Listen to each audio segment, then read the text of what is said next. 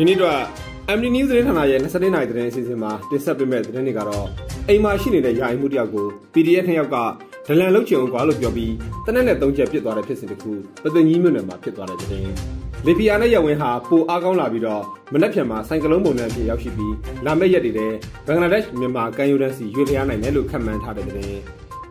တန်ရင်သဘာဝတရားဤတာမှာတဘာတဲ့သတင်းသုံးတဲ့တိလရှင်ဆရာကြီးတစ်ပါးဟာကျောင်းထဲမှာပုတ်ပွားသိဆုံးနေတာကိုတွေ့ရတဲ့သတင်း မြန်မာနိုင်ငံပေါ်ပိတ်ဆို့မှုချမှတ်တာဟာပြဿနာတွေကိုဖြေရှင်းနိုင်မယ့်အဖြစ်မဟုတ်ဘူးလို့အင်ဒိုနီးရှားသမ္မတပြောတဲ့တဲ့။ထိုင်းရဲတဲ့ဘက်ကလိုက်ဖမ်းတာကိုထပ်ပြေးတဲ့ကားမှောက်သွားတဲ့အတွက်ကားပေါ်မှာပါတဲ့မြန်မာရွှေ့ပြောင်းလူသမားတွေထဲမှာနှစ်ယောက်သေသွားတဲ့တဲ့နဲ့ရှမ်းပြည်နယ်မှာအာဆီယံဖွဲ့ဝင်နိုင်ငံတွေကတန်တမန်တွေပါလာတဲ့ရင်နှန်းတိုက်ခိုက်ခံရတဲ့ပေါ်အင်ဒိုနီးရှားနဲ့စင်ကာပူကရှုံချထားပြီးတော့ဒီဖြစ်စဉ်ပေါ် NUG ကစစစ်စစ်နေတယ်လို့ပြောလိုက်တဲ့အကြောင်းသတင်းတွေကိုတင်ဆက်ပေးသွားမှာပါ။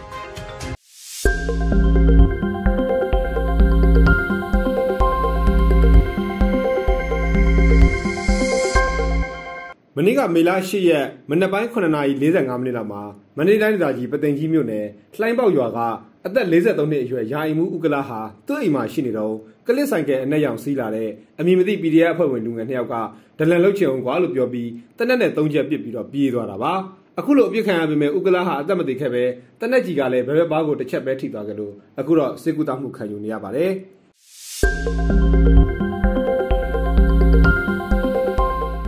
ဘင်္ဂလားပင်လယ်အော်အရှေ့တောင်ပိုင်းသူနဲ့ဆက်ဆက်နေတဲ့ကပလီပင်လယ်ပြင်တောင်ပိုင်းတို့မှာဖြစ်နေတဲ့လေဖီယာနဲ့ရဝင်ဟာပိုအားကောင်းလာနိုင်ပြီးတော့လာမယ့်၁၈နာရီအတွင်းမုန်တိုင်းငယ်အဖြစ်ရောက်မှာဖြစ်ပြီးမေလ10ရက်ကြာရင်တော့စိုက်ကလုန်းမုန်တိုင်းအဖြစ်ရောက်မယ်လို့မိုးလေဝသနဲ့ဇလဗေဒညွှန်ကြားမှုဦးစီးဌာနကဒီနေ့မနက်မှာခန့်မှန်းထုတ်ပြန်ထားပါတယ်။စိုက်ကလုန်းမုန်တိုင်းဟာအစပိုင်းမှာမြောက်အနောက်မြောက်စီရွေ့လျားပြီးမေလ17ရက်မှာဘင်္ဂလားပင်လယ်အော်အရှေ့အလယ်ပိုင်းရောက်ပြီးတော့အဓိကတဆင့်မြောက်အရှေ့မြောက်စီကွေ့ပြီးဘင်္ဂလားဒေ့ရှ်မြန်မာကမ်းရိုးတန်းစီရွေ့လျားနိုင်တယ်လို့ခန့်မှန်းထားတာပါ။ မေ17ရက်ကနေ15ရက်အတွင်းနေပြည်တော်စကိုင်းတိုင်းဒေသကြီးအောက်ပိုင်းမကွေးတိုင်းဒေသကြီးပဲခူးတိုင်းဒေသကြီးရန်ကုန်တိုင်းဒေသကြီးအေရဝတီတိုင်းဒေသကြီးရှမ်းပြည်နယ်တောင်ပိုင်းနဲ့အရှေ့ပိုင်းချင်းပြည်နယ်ရခိုင်ပြည်နယ်ကယားပြည်နယ်ကရင်ပြည်နယ်နဲ့မွန်ပြည်နယ်တို့မှာနေရာနှံ့ပြမိုးထချုံရွာပြီးတော့နေရာကွက်မိုးကြီးနိုင်တယ်လို့စကိုင်းတိုင်းဒေသကြီးအထက်ပိုင်းမန္တလေးတိုင်းဒေသကြီးတနင်္သာရီတိုင်းဒေသကြီးကချင်ပြည်နယ်နဲ့ရှမ်းပြည်နယ်မြောက်ပိုင်းတို့မှာနေရာကျကျကနေနေရာစိတ်စိတ်မိုးထချုံရွာမယ်လို့ခန့်မှန်းထားပါတယ်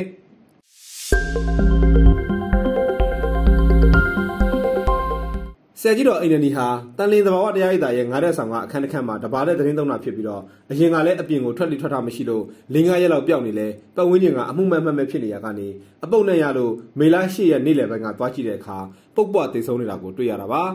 တိလိုက်ရှင်ဆရာကြီးဟာအသက်58နှစ်အရွယ်ရှိပြီးတော့အရင်ကလည်းသွေးလုံးနဲ့စီးကြယောဂအခန်းရှိလို့ဆေးတောက်နေရတာပါ ဘာယောဂနဲ့အခုလိုဆုံးနေဆိုတာမသိရလို့ပရာဟိတအဖွဲ့က PPE ဝတ်ဝတ်ပြီးတော့အလောင်းကိုတည်ယူခဲ့ရပေမဲ့တန်လင်းသဘာဝတရားရည်တာမှာကောလဟာလာထွက်နေတယ်လို့မျိုးကိုဗစ်အခြေအနေဆိုတာမဟုတ်ပါဘူးလို့အလောင်းကိုသွားတည်ခဲ့တဲ့ရွှေရောင်တွဲလက်လူမှုကူညီရေးတင်တာဝန်ရှိသူက MD News ကိုပြောပါတယ်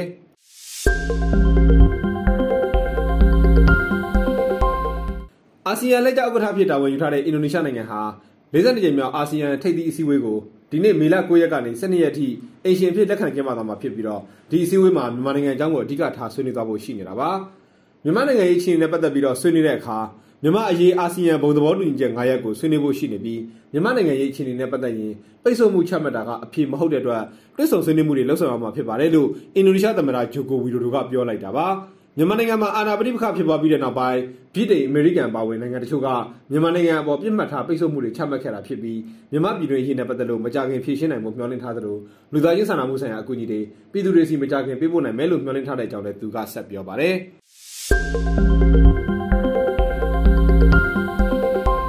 ထိုင်းနိုင်ငံတော်ပိုင်းနရာထိဝက်ခရိုင်ရင်ငေါမြို့နယ် တပေါက်ရောက်ကြီးရွာကဗလီတစ်ခုရှိမှပြီးခဲ့တဲ့ရက်ပိုင်းကမြန်မာလူသမားတွေကိုတင်လာတဲ့ကားတစ်စီးဟာလမ်းမေးမြောင်နဲ့ထိုးကျတိမ်ပေါက်ခဲ့တာကြောင့်မြန်မာလူသမားနှစ်ယောက်သေဆုံးပြီးအများအပြားဒဏ်ရာရခဲ့တာပါအဲ့ဒီကားပေါ်မှာထိုင်းနိုင်ငံနဲ့လှုပ်လှုပ်ဖို့ရတရားမဝင်ဝင်ရောက်ဖို့ကြိုးပမ်းခဲ့တဲ့မြန်မာနိုင်ငံသား73ယောက်ပါဝင်ခဲ့တယ်လို့သိရပါတယ်မြန်မာရှေ့ပြောင်းလူသမားတွေကိုတင်ဆောင်လာတဲ့ကားဟာထိုင်းစစ်စေးရေးဂိတ်မှာနရာထိဝက်ခရိုင်ရဲတပ်ဖွဲ့ကတားစစ်တာကိုလက်မခံဘဲမောင်းပြေးတာကနေအခုလိုဖြစ်သွားရတာပါဒဏ်ရာသူတွေကိုစေယုံပို့ထားတယ်လို့လည်းသိရပါတ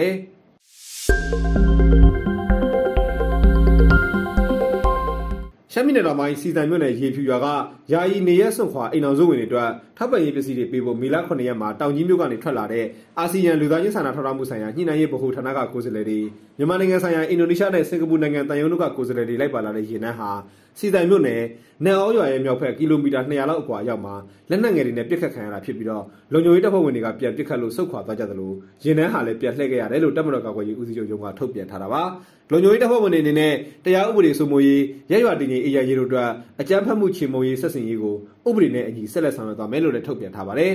တန်တမန်တွေသွားတဲ့လမ်းကြောင်းမှာဝန်ထမ်းစရာအဖြစ်အပျက်တွေနဲ့တွေ့ကြုံခဲ့ပြီးတန်တမန်တွေလိုက်ပါလာတဲ့ရင်နှန်းပြစ်ခတ်တိုက်ခိုက်ခံရတဲ့အကြောင်းနဲ့အာဆီယံအဖွဲ့ရဲ့လူသားချင်းဆိုင်ရာစာနာမှုအကူအညီတွေလွှဲပေးဖို့သွားတဲ့ရင်နှန်းတိုက်ခိုက်ခံရမှုအပေါ်ရှုံချပါတယ်လို့အင်ဒိုနီးရှားသမ္မတဂျိုကိုဝီဒိုဒိုကပြောထားပြီးတော့ရင်နှန်းတိုက်ခိုက်ခံရမှုအပေါ်ပြစ်တင်ရှုံချတဲ့အကြောင်း လူသားချင်းဆိုင်ရာစာနာမှုအကူအညီပေးရေးအဖွဲ့တွေနဲ့တန်တမန်တွေဘေးကင်းလုံခြုံရေးကအဓိကအရေးပါပြီးတော့ဘေးကင်းလုံခြုံမှုရှိမှသာအကူအညီလိုအပ်နေသူတွေကိုလူသားချင်းစာနာမှုဆိုင်ရာအကူအညီတွေပေးနိုင်မှာဖြစ်တယ်လို့စင်ကာပူနိုင်ငံသားရေးဝန်ကြီးဌာနကပြောထားပြီးတော့ရင်နှန်းမှာစင်ကာပူနိုင်ငံတန်ယုံဝန်ထမ်းနှစ်ယောက်ပါတယ်လို့လည်းပြောထားတာပါ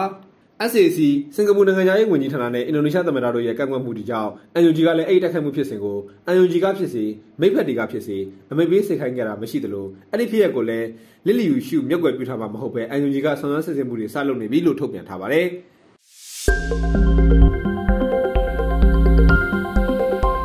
ဒီအတွက်သတင်းတင်ဆက်မှုကဒီနေရာမှာပြီးပါပြီ။နောက်ရက်တွေမှာလည်းထူးခြားတဲ့သတင်းတွေနဲ့စိတ်ဝင်စားစရာအကြောင်းအရာတွေကို MD News သတင်းဌာနကတင်ဆက်ပေးသွားမှာဖြစ်လို့ဆက်လက်ကြည့်ရှုနားဆင်ဖို့ဖိတ်ခေါ်ပါရစေခင်ဗျာ။ Thank you.